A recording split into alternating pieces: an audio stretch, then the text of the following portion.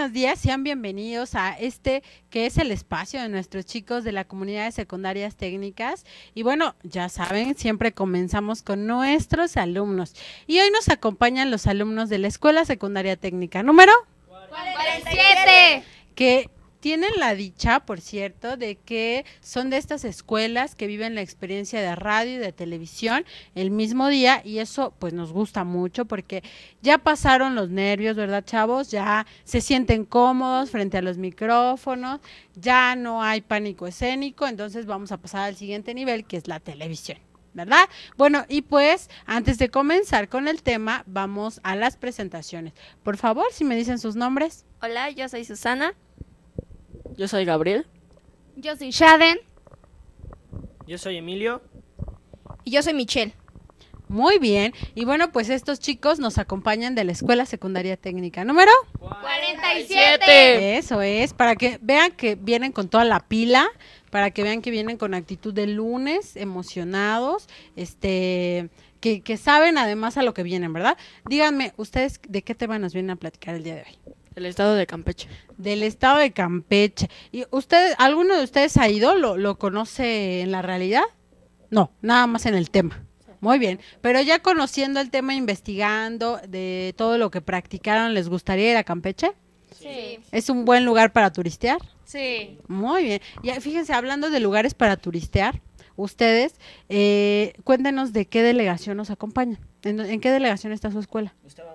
En la Gustavo Madero. Ah, ah, muy bien. ¿Y qué punto de referencia nos pueden decir que está cerca de su escuela? Si alguien quisiera visitar su técnica, ¿cómo podría eh, establecer como un punto de algo que conozcamos? Bueno, eh, nuestra secundaria está cerca de la estación del metro eh, Potrero. Ah, muy bien. E- ese es el punto de referencia de nuestra escuela. Ok. O sea que ustedes eh, son de tercero o de segundo? De segundo. De segundo. Ah, acá de este lado tenemos a alguien. A ver, pásenle el micrófono acá a nuestra compañerita. ¿Tú qué sientes que ya próximamente, ya vas a la mitad del año?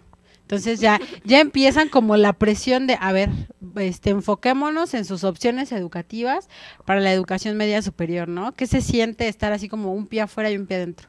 Pues me siento muy emocionada porque pues es un paso que yo voy a dar y que me he esforzado en estos tres años para estar en donde quiero estar y pues es muy bonito poder eh, acompañarlos en este momento y saber que siendo una, bueno, teniendo buenas calificaciones y todo eso, puedes llegar a donde tú quieres Como a la tele. como a la tele. y pues se siente, se- es una experiencia muy agradable. Muy bien. ¿Y ya tienes, sabes cuál es tu primera opción? Sí, ¿Cuál? es el- la vocacional 3. Ah, muy bien. Que está eh, por ahí, ¿no? Eh, ¿Cerca? No. Nada que ver, está lejísimo, ¿no? ¿Por qué, por qué la vocacional número 3? Porque me ofrece la carrera que, bueno, a mí me parece más interesante, algo que en, en verdad enca- encontré mi vocación, Ok. eh, que es aeronáutica. Oh, muy bien.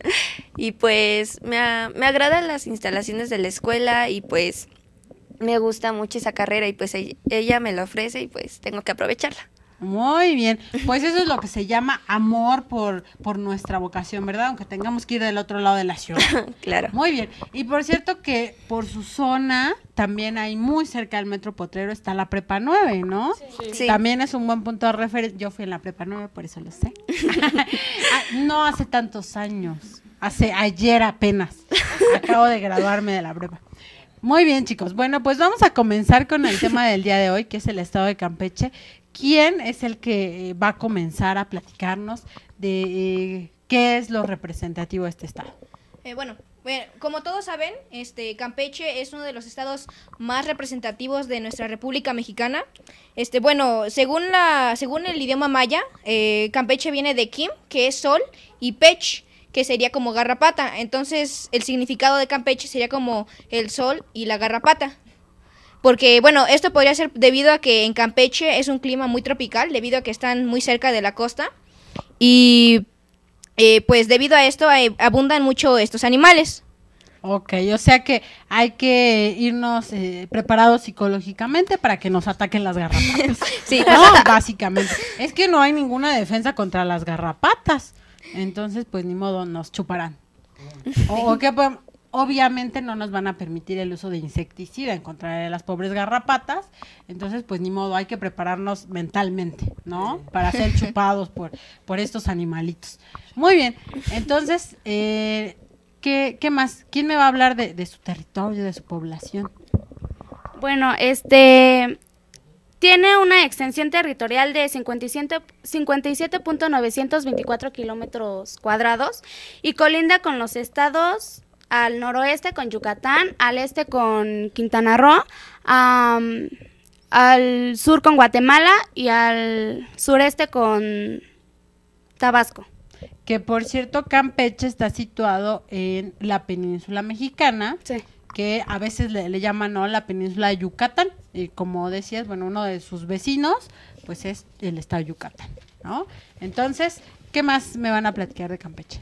Eh, bueno, en cuanto a su historia, debido a que estaba localizado en la península de Yucatán, este, durante mucho tiempo este, se vieron afectados por los, por los piratas y los corsarios, debido a que estos se dieron cuenta de la gran actividad económica que tenía eh, bueno, esta península y comenzaron a explotarla. Bueno, debido a su riqueza natural, a su ubicación geográfica, bueno, y entre muchas otras razones. Ok, entonces era, era una tierra, digámoslo así, porque era más bien del lado del mar, que había muchos piratas, ¿no? Y, y de hecho todavía podemos ver como ciertos vestigios de esto porque Campeche y toda la zona de la península de Yucatán es conocida por estas eh, cuestiones arquitectónicas que hay muros, ¿no? Y esto era precisamente en defensa, como nos decía nuestro compañero, de los piratas y de los corsarios, ¿no? Se defendían de, todo este ataque y entonces pues hacen estas grandes eh, fortalezas, ¿no? Para, para cubrir a la población. Muy bien, ¿con qué continuamos? Eh, bueno, eh, el escudo de Campeche está dividido en, cuatro casillas. Dos son rojas y otras dos son azules.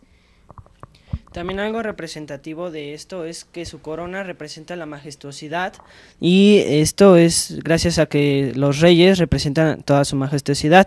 Eh, también el escudo se representa con los, las vestimentas típicas que tienen como que representan su naturaleza de Campeche y su folclore.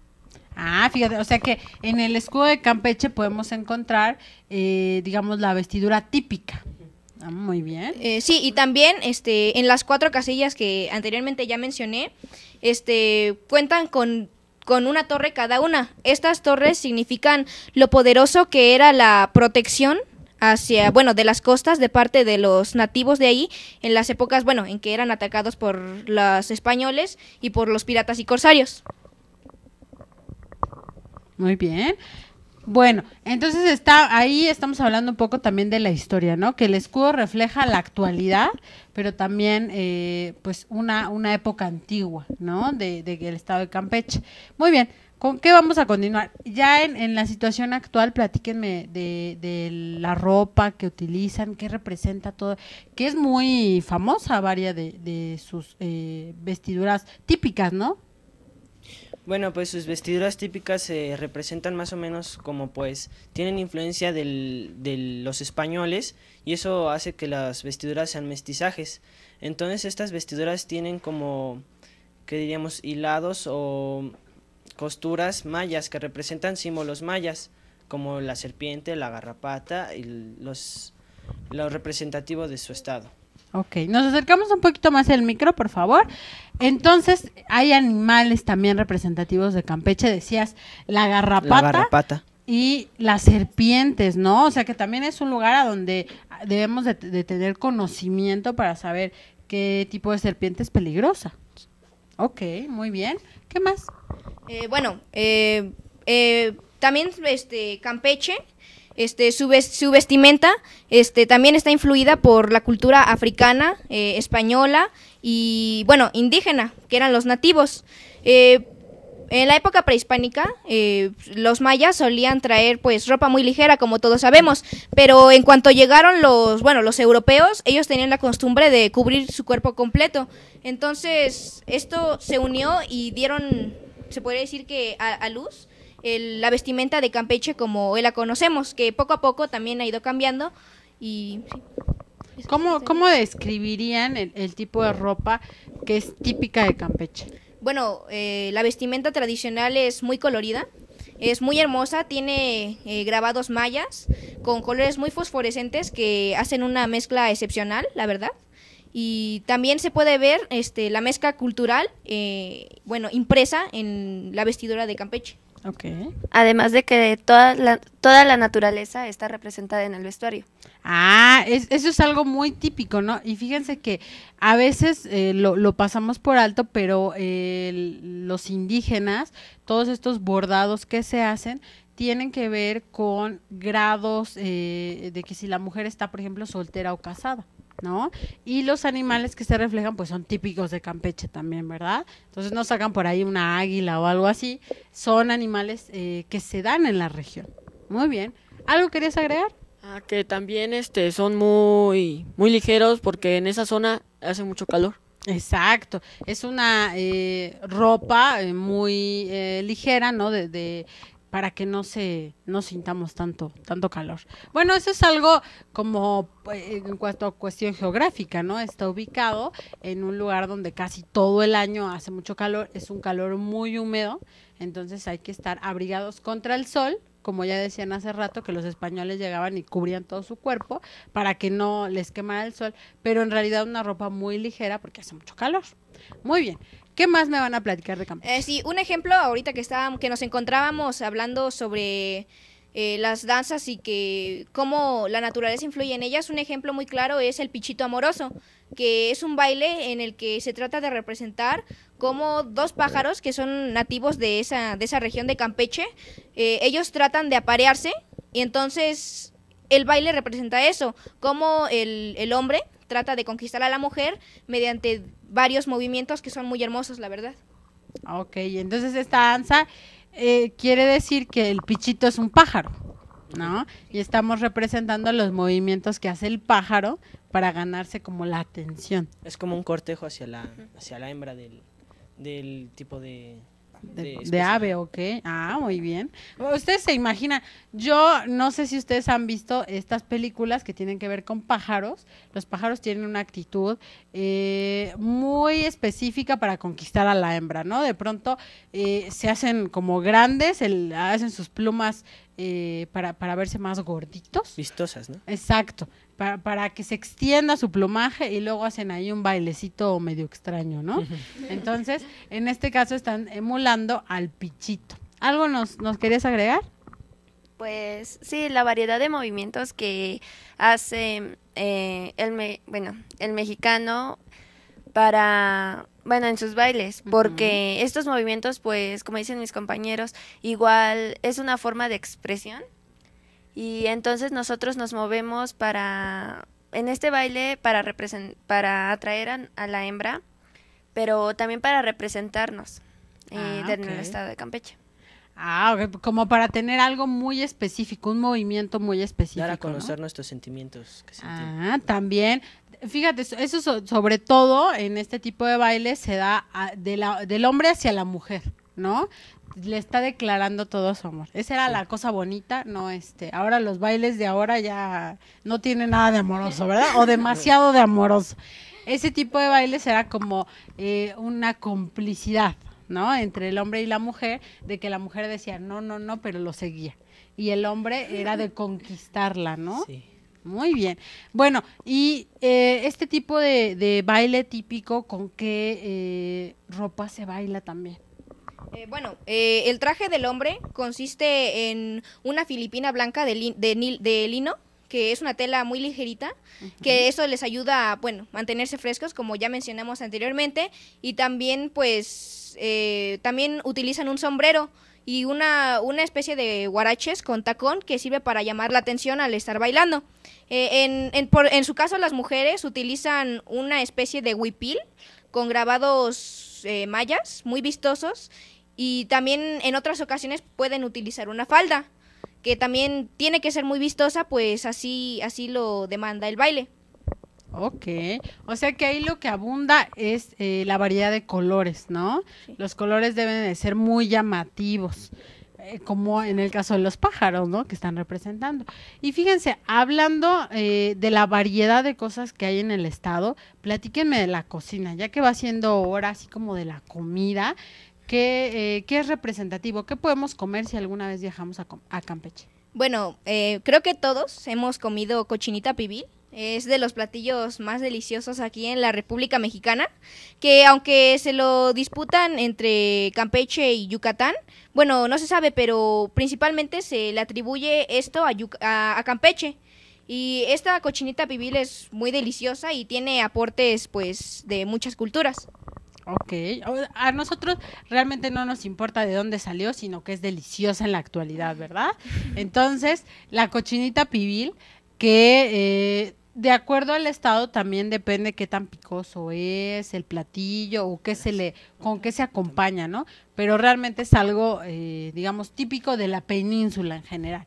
Muy bien, ¿qué otra cosa? También eh, algo típico de, de, de Campeche, su comida es un tamal grande, o sea, es un- una cosa muy gigante. Creo que se llama huipil o algo así, algo parecido.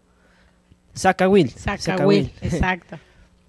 Tiene pues varios eh, complementos como es la masa, sus chiles, que es lo que representa más al tamal, sus carnes. Lo principal es que, que, este, que este tamal que pues tenga mucha variedad de chile, ya que pues a México se le caracteriza por, por su gran gusto al chile. Claro, fíjate, tiene dos ingredientes importantes de la cocina mexicana, los chiles, que además el zacahuil pues debe ser picoso, ¿no? Y eh, el maíz, ¿no? Que está representado pues en, en la harina con la que se elabora el tamal, pero además como bien dices, es un tamal enorme, ¿no? Es así como para para que coman, porque este tipo de, de alimentos se eh, distribuye en una fiesta, ¿no? No es así como, a ver, deme un tamal y yo me lo llevo a mi casa, ¿no? Es como para celebrar. Entonces tiene mucha carne, a veces le ponen quesos, a veces le ponen eh, algún tipo de planta y sobre todo lo que dices, bueno, lo infaltable es que es un tamal y que tiene chile y que tiene varios tipos de carne, ¿no? Entonces pues ya saben, no pueden dejar de disfrutar un, un rico zacahuil cuando vayan a Campeche. Muy bien, de este lado, ¿qué, qué nos querías decir? Pues igual, bueno, invitarlos igual a que vayan al estado de Campeche, prueben los saca los acahuiles porque son, bueno, son muy deliciosos, deliciosos, sí son picosos, pero pues el mexicano es muy Es que dicen de nuestra cocina que si no pica no sabe, ¿verdad? Entonces es infaltable la salsa en la mesa y pues en el zacahuil está representado ahí lo, lo más representativo de, de nuestra cocina. ¿Qué vas? Este, otra cosa muy, también muy interesante que es cómo, cómo se cocina este famoso tamal, ¿no? Ok. Porque para poder cocinarlo se tiene que enterrar. Ah, muy bien. O sea, se hace un hoyo en la tierra. Ajá. Y ahí se cocina abajo de la no, tierra. Sí. este, ponen... Sí, ¿no? Me parece que sí. Ah, ok. Eh, o si no, le hacen un tipo de horno. ponen el fogón y se pone entre la tierra para que se cosa bien. Ajá. Ah, muy bien, para que la misma tierra lo caliente y le dé ese sabor específico, ¿no? Fíjense qué interesante, hay, yo creo que de la cocina mexicana hay muchos platillos que eh, tienen este tipo de cocción bajo la tierra y yo creo que los extranjeros a veces dicen, ¿es en serio? De verdad entierra la comida y luego se la come. Pero bueno, no- a nosotros ya no nos parece como tan loco, ¿no? Ya la barbacoa, por ejemplo. Exacto, es como algo muy típico de, de la cocina mexicana también. Muy bien, chavos, pues entonces eh, ya está hecha la invitación para que vayan a- al estado de Campeche. Ahorita vimos un poco de su historia, un poco de la gastronomía y, del baile típico. Nos quedaría mucho por hablar de Campeche, ¿verdad? Bueno, es un estado con mucha tradición. Desafortunadamente, ya saben que en la tele el tiempo se va volando. Entonces, quiero aprovechar los últimos minutos para que ustedes me digan su conclusión, qué tal les pareció venir aquí a EGES TV y obviamente para que envíen sus saludos. Vamos a empezar de este lado hacia la cámara, por favor. Bueno, venir aquí, pues se me hace una experiencia muy maravillosa, contar con mis compañeros, con su apoyo y pues dar las gracias porque nos brindan la oportunidad de venir aquí a expresarnos y bueno, más que nada a, a representar lo que es, bueno, lo que nos enseñan en nuestras escuelas. Y pues mandar un saludo a mi maestro de danza que fue el que hizo posible esto y pues Y, ¿Y pues que se llama? Mm, se llama Arturo Carreño. Muy bien, un saludo al maestro que está allá, apoyándolos moralmente, ¿verdad? ¿Y tus saludos personales? Pues un saludo a toda mi familia, que pues como mencioné al principio del programa, ellos son los que me apoyan para seguir con mis estudios y pues alcanzar las metas que yo me proponga. Perfecto. Muy bien, continuamos. De aquel lado, por favor. Eh, bueno, unas gracias a este programa por invitarnos y quiero invitar a toda la escuela a que venga a concursar. Bueno, no a concursar, A eh, participar. a participar. Y, y saludos a mi familia y a toda la escuela. Por favor. Bueno, pues de antemano muchas gracias por la invitación. Este, pues yo creo que todos nos la pasamos muy bien. Eh, fue muy interesante estar aquí, la verdad. Fue una experiencia muy inolvidable, ¿no? Ajá. Este, y pues quiero mandarle saludos a mi familia y a una de mis amigas, Citlali. Muy bien, dile hola, Citlali. Hola. Muy bien. Seguimos con. Bueno, yo le doy gracias a este programa por darme esta oportunidad tan mar- maravillosa que este que para mí ha sido muy especial y pues también le quiero mandar un saludo a, saludo a toda mi familia y a mis unas de mis mejores amigas Daniela Arroyo y Gonzal y Daniela González.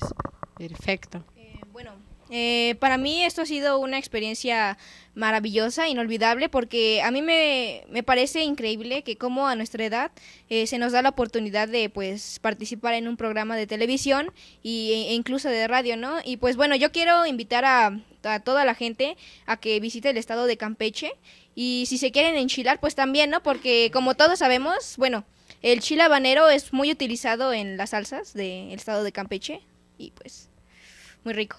Y si no, pues así el chile, ¿no? A mordidas. Ah, sí. Que allá les encanta utilizarlo así. Muy bien. Bueno, ¿y los saludos? Ah, pues yo, bueno, yo quiero saludar a toda la escuela, a todos mis compañeros, a todos mis maestros que dan lo mejor de sí eh, día a día y pues eso, eso sería todo. Perfecto. Bueno, pues hoy estuvimos con los chicos de la Escuela Secundaria Técnica número. 47. Eso es, que nos estuvieron platicando del estado de Campeche y de toda su riqueza cultural. Pues nosotros también queremos mandar un saludo y un agradecimiento a nuestro director general de Educación Secundaria Técnica, el licenciado Manuel Salgado Cuevas, por las facilidades que nos otorga para la realización de este y todos nuestros programas en radio y en televisión. Esto fue nuestros alumnos con los chicos de la Escuela Secundaria Técnica número. 47. Eso es, y nosotros pues nos vemos eh, próximamente, ya saben, visiten nuestros calendarios para saber cuántos programas tenemos y por supuesto para que ustedes también, como dijeron los chicos, puedan acompañarnos un día hasta aquí en la dirección general y hacer con nosotros un programa tan maravilloso como el de ellos. Muy bien, pues yo me despido, soy Alma Rangel y nos vemos la próxima. Adiós, digan adiós.